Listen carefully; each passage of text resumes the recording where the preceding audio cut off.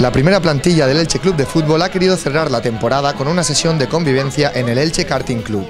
Tras una temporada llena de éxitos, el equipo ha pasado una mañana distendida alejada de los terrenos de juego.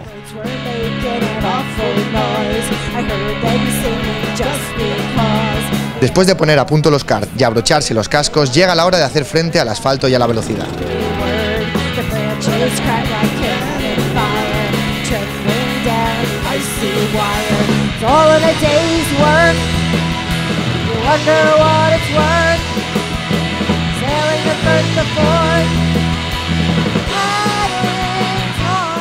Tras los entrenamientos y la clasificación, la luz verde daba salida a la competición.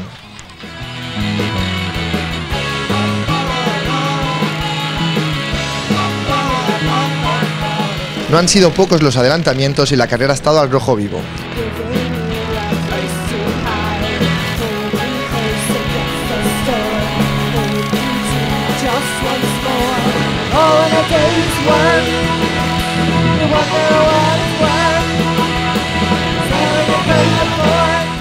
Incluso alguno de los jugadores ha tenido que abandonar por problemas técnicos.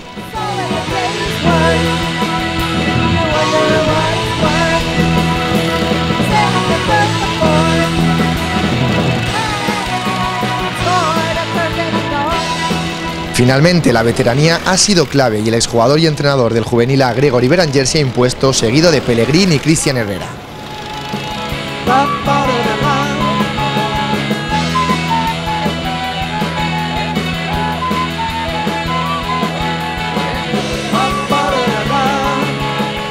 Como manda la tradición, se ha descorchado el champán para celebrar la victoria.